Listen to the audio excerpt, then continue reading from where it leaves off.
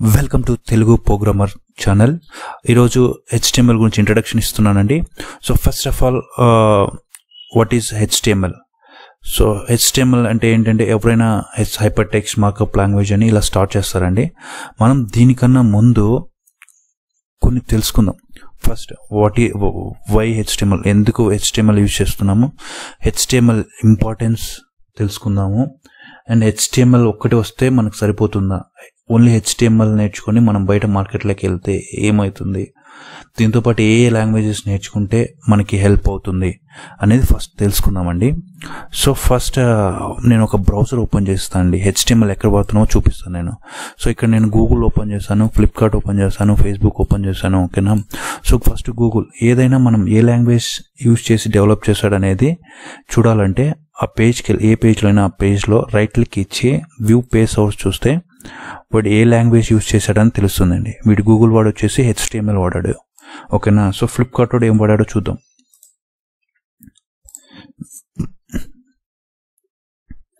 వీడేం వీడేం వాడాడు? వీడ్ కూడా హెచ్టిఎంఎల్ వాడాడు. ఓకే అట్లీస్ట్ ఫేస్బుక్ వాడు ఏం వాడాడో చూద్దాం. వీడు కూడా హెచ్టిఎంఎల్ వాడాడు కదండి. సో ఏంటంటే ఇక్కడ ఫ్లిప్కార్ట్ అయినా ఫేస్బుక్ అయినా అమెజాన్ అయినా ఎవరైనా ఒక బ్రౌజర్లో ఒక వెబ్సైట్ ఓపెన్ చేశారు అంటే అది కంపల్సరీ హెచ్టిఎంఎల్ యూజ్ చేసి చేస్తామండి.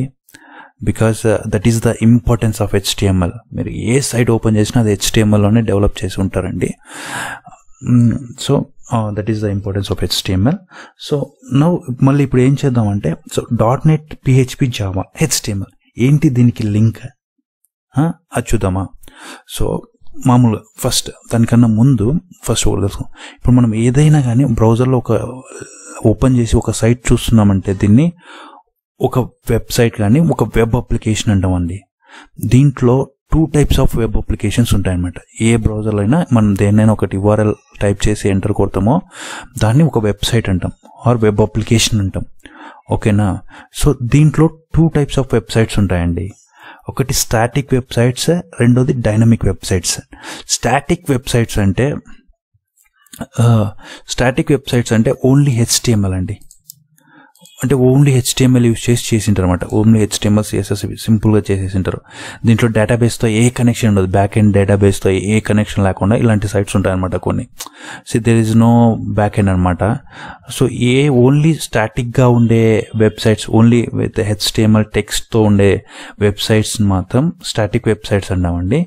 ఇప్పుడు ఫేస్బుక్ ఉంది ఎగ్జాంపుల్ డైనమిక్ వెబ్సైట్ గురించి ఎగ్జాంపుల్ ఇస్తున్నాను.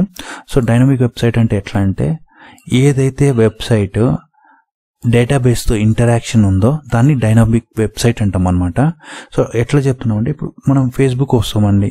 ఫేస్బుక్ వచ్చిన తర్వాత ఫస్ట్ ఇప్పుడు ఎవరైనా యూజర్ న్యూ యూజర్ రిజిస్టర్ అవ్వాలంటే ఏం చేస్తాడు user name user name sir name mobile name password ఇచ్చి gender and date of birth select చేసుకొని సైన్ అప్ క్లిక్ చేస్తాడు కదా. ఈ సైన్ అప్ క్లిక్ చేసినప్పుడు ఏమవుతుంది ఈ డేటా అంతా వెళ్ళి బ్యాక్ ఎండ్ డేటాబేస్లో పడాలి. ఒక డేటాబేస్లో అయితే సేవ్ అవుతుంది కదా. సో అక్కడ డేటాబేస్లో సేవ్ అయితేనే మనం ఇక్కడ ఆ డేటాబేస్కి వెళ్ళి నెక్స్ట్ టైం మనం లాగిన్ అవ్వడానికి ట్రై చేసినప్పుడు మనం ఇచ్చే ఈమెయిల్ పాస్వర్డ్ అక్కడ డేటాబేస్కి వెళ్ళి చెక్ చేసుకొని ఓకే కరెక్ట్ యూజరే ఈ ఈమెయిల్ ఐడి ఈ పాస్వర్డ్ ఉన్నాయి ఈ డేటాబేస్లో సో లాగిన్ అని మీరు నెక్స్ట్ హోమ్ పేజ్కి వెళ్తారనమాట సో ఇట్లా డేటాబేస్తో ఇంటరాక్షన్ ఉండే ప్రతి వెబ్సైట్ని డైనమిక్ వెబ్సైట్ అంటామండి. సో మీకు అర్థమైందా? స్టాటిక్ వెబ్సైట్స్ అంటే మీరు హెచ్టిఎంఎల్ వాడితే only static HTML static sites మాత్రమే చేసుకోగలరు. దాంట్లో ఎటువంటి డేటాబేస్ ఇంటరాక్షన్ ఉండదు. సో ఇప్పుడు మీరు ఎప్పుడైతే డేటాబేస్ ఇంటరాక్షన్ అవ్వాల్సి వస్తుందో అప్పుడు అప్పుడు మనం ఒక ప్రోగ్రామింగ్ లాంగ్వేజ్ సపోర్ట్ మనం తీసుకుంటామండి. అర్థమైందా? ఇప్పుడు ఈ సైన్ అప్ బటన్ క్లిక్ చేస్తే డేటాబేస్లోకి వెళ్ళి సేవ్ అవుతుందని మనకు తెలుసు. కానీ హెచ్టిఎంఎల్కి ఆ ఫ్లెక్సిబిలిటీ లేదు. డైరెక్ట్గా డేటాబేస్కి కనెక్ట్ అయ్యి ఈ మనం ఇచ్చే వాల్యూస్ అంతా ఈ ఫస్ట్ నేమ్ కానీ మొబైల్ నెంబర్ కానీ పాస్వర్డ్ జెండర్ కానీ ఏదైనా కానీ ఈ వాల్యూస్ అన్నీ డైరెక్ట్గా డేటాబేస్లోకి హెచ్టిఎంఎల్ పంపలేదు. సో దీనికి మధ్యలో ఒక మనం ఒక ప్రోగ్రామింగ్ లాంగ్వేజ్ యూజ్ చేస్తాం. ఈ డేటానంతా తీసుకెళ్ళి డేటాబేస్లో వేయడానికి అలా ఆ ప్రాసెస్ జరగడానికి మధ్యలో ఒక ప్రోగ్రామింగ్ లాంగ్వేజ్ హెల్ప్ తీసుకుందాం. అది ఏ ప్రోగ్రామింగ్ లాంగ్వేజ్ అయినా పర్లేదు. లైక్ ఎగ్జాంపుల్ మోస్ట్ మనం ఎక్కువ మనం రెగ్యులర్గా వాడే uh, లాంగ్వేజెస్ వచ్చేసి పిహెచ్పి బాగా వాడతారు డాట్ నెట్ బాగా వాడతారు జావా ఎక్కువ వాడతారు పైథాన్ వాడతారు ఇంకా అదర్ ప్రోగ్రామింగ్ లాంగ్వేజెస్ కూడా ఉన్నాయండి. మనం మేజర్గా పిహెచ్పి డాట్ నెట్ జావా రెగ్యులర్గా ఎక్కువ వాడుతుంటారు. సో సో మీకు అర్థమైంది కదా? డైనమిక్ వెబ్సైట్ అంటే ఏంది? Uh, స్టాటిక్ వెబ్సైట్ అంటే ఏంది? అసలు ప్రోగ్రామింగ్ లాంగ్వేజెస్ ఎక్కడ యూజ్ అవుతున్నాయి అనేది మళ్ళీ ఒక్కసారి చెప్తాను వినండి క్లియర్గా సో ఇదంతా ఒక ఇది ఒక డైనమిక్ వెబ్సైట్ అండి ఫేస్బుక్ మనం ఈ వాల్యూస్ అన్ని ఎంటర్ చేస్తే సైన్ అప్ బటన్ క్లిక్ చేసిన తర్వాత ఈ డేటా అంతా మనం బ్యాక్ ఎండ్లో డేటాబేస్లో స్టోర్ చేస్తాం. అది మనకు తెలిసిన విషయం. కానీ ఎలా స్టోర్ చేస్తున్నాం? హెచ్టిఎంఎల్ డైరెక్ట్గా స్టోర్ చేయలేదు. దానికి ఆ ఫ్లెక్సిబిలిటీ ఉండదు. ఆ ఆప్షన్ ఉండదు అనమాట హెచ్టిఎంఎల్ నుంచి డైరెక్ట్గా డేటాబేస్ కనెక్ట్ చేసి మనం వాల్యూస్ పంపలేం. సో ఈ మధ్యలో ఒక మీడియేటర్గా మనం ఒక ఏదైనా కానీ ఒక లాంగ్వేజ్ సపోర్ట్ తీసుకుంటాం అనమాట ఈ డేటాను అంతా తీసుకెళ్ళి డేటాబేస్లో వేయడానికి. మళ్ళీ డేటా డేటాబేస్లో ఉన్న వాల్యూస్ని తీసుకొచ్చుకొని ఫ్ర- మళ్ళీ ఫ్రంట్ ఎండ్లో హెచ్టిఎంఎల్ చూపించాలన్నా కూడా మనకి మధ్యలో ఒక ప్రోగ్రామింగ్ లాంగ్వేజ్ అనేది కంపల్సరీ. అది మీ మీకు మీకు ఏ లాంగ్వేజ్ నచ్చితే మీరు జావా అనుకుంటే జావా యూస్ చేయొచ్చు హెచ్టి సారీ పిహెచ్పి అంటే పిహెచ్పి యూజ్ చేయొచ్చు డాట్ నెట్ అంటే. డాట్ నెట్ యూజ్ చేయొచ్చు. So this is what the structure అండి. సో నేను ఒక రఫ్గా ఒక డయాగ్రామ్ గీసానండి వెబ్ అప్లికేషన్ సో మనం టోటల్గా ఏదైనా కానీ ఇక్కడ బ్రౌజర్లో యూజ్ చేసే ప్రతిదాన్ని వెబ్ అప్లికేషన్ అంటామండి. దీనికి ఒక ఆర్కిటెక్చర్ ఉంటుందండి. సో ఆ ఆర్కిటెక్చర్ నేను సింపుల్గా డిఫైన్ చేశానండి. So front end front end అంటే ఇదంతా. ఇదంతా front end what we design what we are seeing is the front end మనం ఏం చూస్తున్నామో అది ఫ్రంట్ ఎండ్ అండి. మధ్యలో ప్రోగ్రామింగ్ లాంగ్వేజ్ ఉంటుంది చూడు. ఈ బటన్ క్లిక్ చేసి జరిగిన తర్వాత ఈ వాల్యూస్ అని తీసుకెళ్ళే ప్రాసెస్నే అది మిడిల్ లేయర్ అంటామండి. అది ఏ ప్రోగ్రామింగ్ లాంగ్వేజ్ అయినా వాడచ్చు ఇక్కడ. ఇక్కడ PHP dot net Java example తీసుకున్నాను. సో సేమ్ థింగ్ మళ్ళీ అలానే మనం ఈ ఓకే సో uh, మనం ఎలానే ఈ వాల్యూస్ అన్ని ఇప్పుడు ఎలా అయితే ఈ వాల్యూస్ అన్ని మనం డేటాబేస్లోకి స్టోర్ చేస్తామో అందులో కూడా అండి డేటాబేస్లో కూడా కంపల్సరీ ఒక డేటాబేస్ ఉంటుంది. దాంట్లో కూడా మనం డిఫరెంట్ డేటాబేసెస్ ఉంటాయి. ఒకే డేటాబేస్ ఏం లేదు. దాంట్లో కూడా మన programming language dot net PHP Java ఎలా ఉన్నాయో అట్లా డేటాబేసెస్ కొంతమంది ఇప్పుడు పిహెచ్పి వాళ్ళు వచ్చేసి ఎక్కువగా మేజర్గా మైఎస్క్యూఎల్ వాడతారండి. డాట్ నెట్ వాళ్ళు వచ్చేసి సీక్వల్ వాడతారు ఎస్క్యూఎల్ వాడతారు. జావా వాళ్ళు వచ్చేసి ఆర్కిల్ వాడతారండి. ఇది ఎక్కువ బయట వాడుతుంటారు సో వాట్ ఎవర్ ఏదేమైనా కానీ మనం డేటాబేస్ మన ఇష్టం అండి. ప్రోగ్రామింగ్ లాంగ్వేజ్ మన ఇష్టం అండి. బట్ అన్నిటికీ కామన్గా ఈ మొత్తం అన్నిటికీ కామన్గా హెచ్టిఎంఎల్ మాత్రం కామన్ అండి. సో ఏ లాంగ్వేజ్ అయినా ప్రతిది జావా అయినా సరే డాట్ నెట్ అయినా సరే పిహెచ్పి అయినా సరే పైథాన్ అయినా సరే ఫ్రంట్ ఎండ్ మాత్రం హెచ్టిఎంఎల్ యూస్ చేసి డిజైన్ చేస్తామండి. అది హెచ్టిఎంఎల్ అండి. That is the that is the importance of HTML అండి. సో uh, అలానే uh, హెచ్టిఎంఎల్తో పాటు మనం CSS and JavaScript వాడతామండి.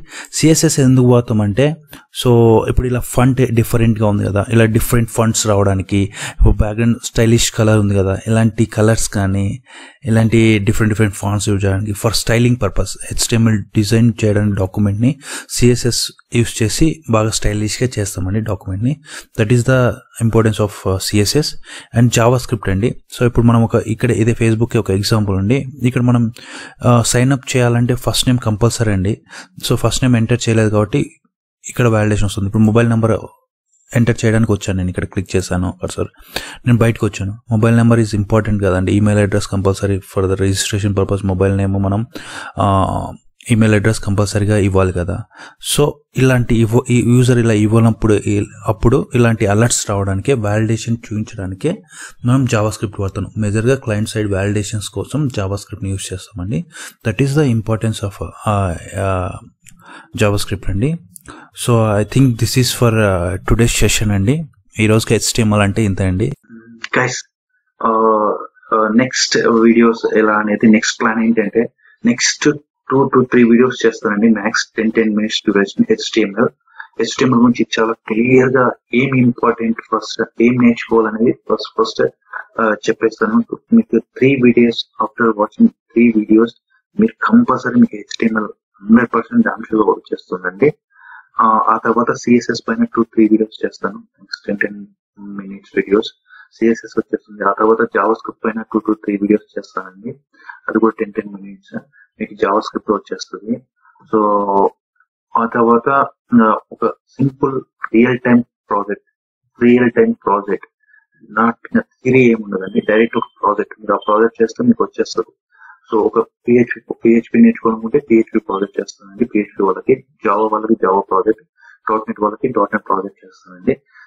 But ఏంటంటే చాలా ఈ వీడియో సిరీస్ మెయిన్ ఇంటెన్షన్ ఏంటంటే బిలో యావరేజ్ పీపుల్ కూడా ఎవరికైనా అర్థమయ్యే లాంగ్వేజ్లో అందరికీ అర్థం అవ్వాలనే ఉద్దేశంతో మనం ఈ మేము ఈ వీడియో సిరీస్ స్టార్ట్ చేసామండి so guys don't miss the coming videos and just మీకు వీడియో నిజంగా నచ్చింటే మీకోసం మీరు వెబ్ డెవలపర్ అవ్వాలి అనుకుంటే ప్రోగ్రామింగ్ లాంగ్వేజ్ ప్రోగ్రామర్ అవ్వాలనుకుంటే మీరు సబ్స్క్రైబ్ చేసుకోండి.